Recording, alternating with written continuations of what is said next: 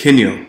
All right, so my first website um, I sold, right? And since then, I realized that, um, you know, the, the most of the brands that I invest in, I do super duper long term. But when I was building my first website, I think this is interesting too, because it's about, you know, you change your mind. You know, when I was young, I actually started lots of different brands and a lot of them don't exist anymore. So I'm, I probably started four websites, four or five websites before the one that I first sold and got like, you know, a substantial enough amount of money for me to even think about it as a good amount of money. Um, and I didn't sell the other ones at all. And actually, I don't even think I made money on any of the other websites. But this is how I built that website up and um, was able to sell it. So um, let me let me put this this camera down.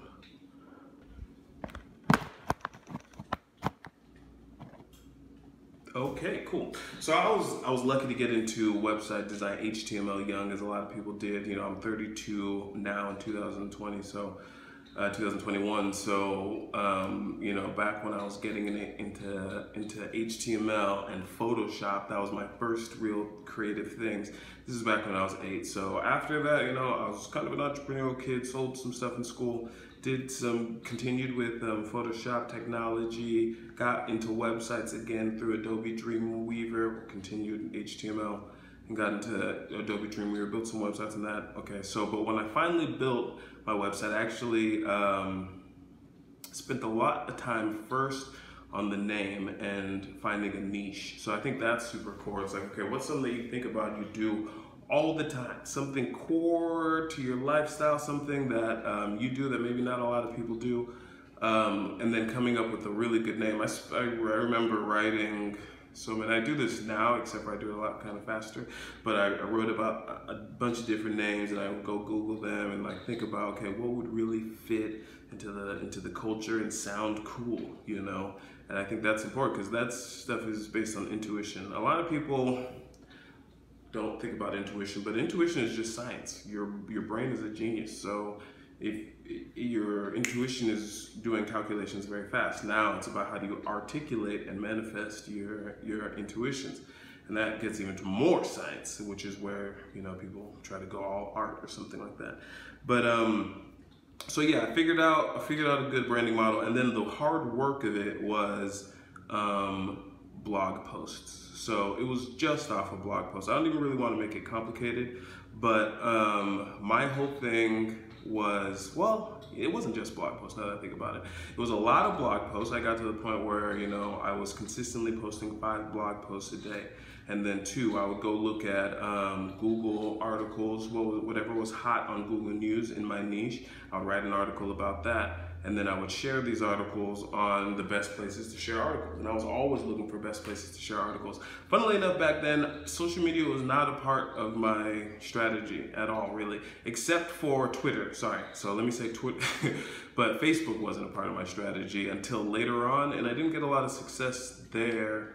Um, when I was doing it, it just wasn't a big thing, uh, you know, back then. This is 2011, 2012. But um, Twitter was really big. I would post a lot on Twitter, just funny things, short little funny things. Um, I would interact with a couple people and I would get, you know, 10 or so visits from Twitter. Now, um, I would also get, I'll say my main traffic driver at the time was this platform called StumbleUpon. And what StumbleUpon would do was deliver large amounts of traffic. Now, that doesn't, it, it doesn't exist anymore. And um, so, you know, I would be getting, I got a bulk of, of, of, I got a lot of traffic from there, but then I also got a lot of SEO because of the traffic that I got from there. And so by the end of it, you know, I was, I was top ranked from Google, so I was getting a lot of traffic from Google. There's a few articles where I write quotes articles. I had a quote article blow up. And one day I was um, one of the top 10 websites in the entire uh, world. Yeah, I know. It was off of one article I wrote. Um, it, was, it was a quote, a top 10 quote article. And it blew up on StumbleUpon and, and it got a ton of views. And so for that day, I went to go check. There, the, there's a few tools that were very active back then. Um, they still exist, but they're they're a little bit different now. But there's other tools, but tools that let you see the, the where your website ranked, especially if you filed with them. Alexa and Quantcast, those are the ones that I used at that time. And um, yeah, they were the ones that showed me that yeah, like your, where your traffic's at, you were one of the top websites. Um, you know, I say top 10, but I think it was actually top 100, which, you know, it felt like top 10 to me, but top 100 is still amazing. You know, like there's, there's so many powerful websites out there. Um, you know, but I can't remember exactly where it was. I know it was up there. You know, there, there's powerful websites, but there aren't really that many that do well on a certain specific day. And that was the only day I was top 100. So um, other than like Google, Yahoo, MSN, certain other websites, not a lot of websites actually do that much traffic per day. But anyway, um, so that was really cool. Um, and that gave, got me to a point where I was, I built and I was, I was writing a lot of articles. I branched my blog off. I would go to other blogs and I would really see how they built theirs. And I added extra elements to my blog. I had a TV section, I had a directory section, I had encyclopedias, I had all different kinds of different tools. I built this thing out out the wazoo so that I would have every opportunity to cover this thing and be the biggest um, single distributor that I could be on this uh, on on on the subject. So um, yeah, that that got to the point where I was getting, I, I'm trying to remember consistently after the months where I was really really killing it, but it would consistently turn into, um, I'm not sure. I think it was somewhere around 15, 20, 30,000 views um, a month. And then um, I was also getting advertising money through Google AdSense, and then I was also selling my own advertising. And then I had a couple other clients that I was doing other things for, you know, with the with the marketing that I could do on that website. And then finally, um, you know, as I was I was growing, I was like, okay, you know, I I didn't know what I wanted to do next, but really I knew that I wanted to start. I realized, you know, how big branding is and how with dedication, you know, because that website took, I was building it for three, four years, but I realized with dedication and branding, you can build um, anything. And when I realized that, um, I, I decided I needed to take a step back. And so, and I wanted to build the, the whole big next thing. And so I ended up being able to sell that website, um, and then I used the money from that to kind of launch what I wanted to do next, which turned into many different websites before I ran um, started the company that I'm doing now, Project Forward. And I also launched a lot of aspects of my art career. So my book, I launched after I sold that website. I wrote my first book, Times Library. I was in my band, uh, Them Poets. And then shortly after that, I, um, when I moved to Texas, about a year or so after selling my set, I I um, launched my first solo song um, after after the, the, the band slowed down. I don't think the band we never like officially canceled bandness, but we just you know after I left, and um, I think a little bit before that we had kind of stopped being active.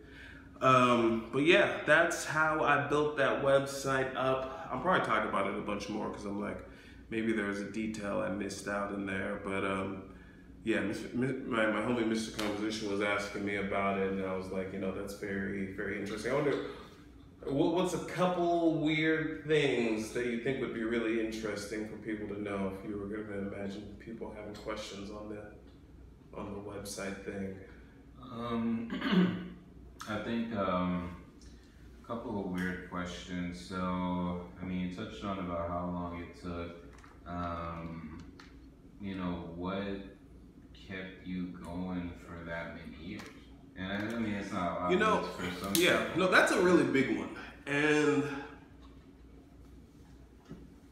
and where was you know, the height of the success within that time frame? Uh, I would say the height was probably selling it. The height, uh, one there were lots of different individual moments. You know, getting being one of the biggest websites in the cut in the world, um, selling it um, how I felt, you know, in my community. You know, because some people knew about it, and it just it felt cool. And I would even like paid a couple friends to write some stuff one day, and you know, it just it, it felt cool to be that young running it. So running something that I came and I remember I had a friend who was like, yo, like, what was it like? Cause, you know, my friends saw me, they were like, and they were like, oh, you literally, like, this was like your baby. Like, what is it like to have like a baby? And, you know, Facebook was young at this time, so it was like kind of cool. It was just becoming like cool. Like people were like saying, oh, like you could be like a, you know, like there was a thing, you know, this tech thing where you could be like a tech, a, a, whatever, you know, a, a, tech inventor, tech innovator.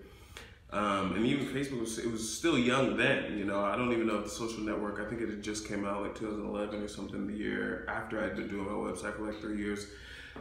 Um, and um, so yeah, that was cool. And then what was the first thing you said? Oh, um, what kept you going as far as? So that's interesting because I feel like um, what I've known probably prior to that in the other brands that I had started was, and I think this is why it's cool if there's something that you do like a lot through your life. I it, it's kind of like I kind of think about like skating and stuff like that. It's like if you went to someone and you were like, "How did you know to like keep on going?" You know, mm-hmm. doing a kickflip down the stairs, and it's like, "Well." Like to us, it seems like the craziest thing, but he did like an all. He's been alling for a while, and then you know he hmm. learned how to kickflip. He did a kickflip down a two stair, did a three stair, four stair, five stair. He's probably done something similar to what he's doing before. So all the iterations that I had, which were a lot, you know, because I got into it so young, all the iterations that I had up until then, I knew that I could execute on everything underneath what I was building the top part for. Mm-hmm. Which means like I knew I had all the basic skills down to understand how to show up mm-hmm. in like as a website. I wasn't like me trying to figure out websites. I had already the basic stuff, which was I had gone through a lot of trials, and when I discovered, oh, the platform I use, a lot of people they go so fancy and crazy, but the single best platform for websites is still Blogger, and it's very fascinating. I don't use Blogger because of the fact that for for um, right now for one of my websites for my main website because I need more stuff and I wanted to shop and so I decided to do it all in one. But up until then, even with my pro website, I was still using Blogger, which is completely free. But there's a major thing with it. Blogger is owned by Google. Google is going to be your number one traffic source um, over the course of your branding. So um, and that might change, and obviously there's other ways to get more, but I'm talking about like just like passive. It's not really passive because you have to put the things in place, but as far as like recurring passive traffic, Google, so and Blogger, I noticed, um, I'm sure there's ways to do this on other platform, but Blogger, it, it indexes very easily in, in certain um, Google aspects. So I don't know if that's illegal that Google's doing that, but it works. So um, by the time I had arrived at that, so it was basically I was the only thing that I was iterating on was the branding, and that too, which is why with that first one I did it. I did it so many times before, and the thing is, I also did not, but I knew that uh, I knew I had the foundation, and then I knew the other thing is that I knew I know how to iterate until something is successful. Mm-hmm and that is about just understanding like the pace of stuff and like so because uh, one thing that I used to think about a lot was how many times I changed the logo for that website and, how much editing really went into that website. The hours, the hours, the hours, the hours, the hours, the hours, the hours, the hours of editing, the hours of photo, um, the, the, the new graphics that I would come up for different things to make it look um, um, better. So, and you know, the thing is, I don't even yeah. So that that's kind of um, and it's it's the same thing for me now. It's like okay, what that taught me is oh, it got me to a certain level. Then my art got me to a certain level. But you know, the visible part that I'm building is only because I have so much confidence in the invisible part. Yeah. You know, because it's hard to need a lot on the area that you're working to build. But the cool thing is the faster you build, the more tools you have for the invisible part. And the invisible part, nobody can shake that. There's certain things that I can do that will always generate revenue for for my business and people don't really always understand how serious that is when it comes to sustainability like you know like even if it's only 15% of your goal revenue even if it's only 10% of your goal revenue even if it's only 5 1% of your goal revenue as soon as you start independent independently producing revenue all those percentages are called free mm-hmm, Right. you're now 1% free. You're now 2% free. I don't know about you, but 2% free sounds pretty good to me. I never griped on that. I never, it wasn't so much that. It was always like, if I can get this up to 4%, I'm going to be so happy because 3% was amazing, Right. you know? And then, uh, and that, and so it's like, you know, so getting to 16, 17, 20, 30. 40 100% is is is i don't know if that's the goal but it's out there i think it's more of a matter of necessity and that's about what do you want to do to change i think i had a really big reason anything that i've ever started it was because i was changing the world like straight up you know because i always saw myself as a world changer so I think so deep and long term about. So it doesn't matter. It's not about um, really anything else other than that. So I have the infinite drive to um, build. I think just because of that. I realize how important that is. You know. But anyway. Alrighty, y'all. That was one uh, one little thing on it. Hope y'all are doing well. So, um, yeah, if you want to um, sell a website, go buy it on GoDaddy. That's what I, I left that part out. I bought it on GoDaddy. I sold it. I don't even remember where I sold it. There's like websites where you can, oh, that's a good technology. There's websites where you can sell websites. So look around at different ones. I posted um, um, a high price, which was based off of, I don't even think I did a very good job, but even then, I think I did it based off of like three times what the website was making at its max. Now, yeah, so based off the revenue. So I did that, and um, someone bought it for that exactly. And uh, they sent me a check in the mail, and I said, I said, my friends, I will be right back. I'm going to the bank. I probably didn't even say I'm going to the bank because I was also a very sneaky person. I was like, oh, you guys are having fun? No, no, I'm just going to, I'm going for a walk. and then, um, and then of course, the MacBook arrived on the doorstep a few weeks later. They said, where is MacBook coming from? And uh, the Coachella tickets were purchased.